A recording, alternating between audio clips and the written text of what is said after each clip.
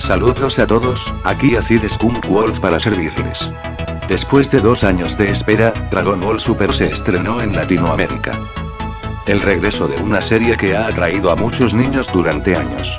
Los primeros cinco episodios fueron increíbles, con las voces de Mario Castañeda y René García.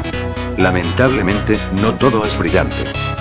El momento que estrenó el opening doblado en español, mucha gente quedó indignada. Hace días que se estrenó el opening en el canal de YouTube de Cartoon Network, y casi la mayoría se disgustó.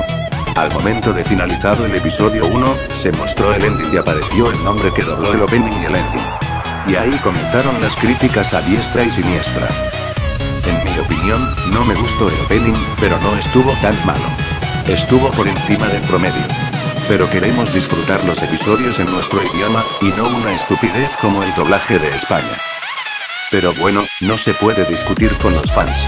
Latinoamérica es la gente más tóxica con respecto a la crítica. Y nadie nos lo puede quitar. Bueno amigos, al final nosotros decidimos que queremos.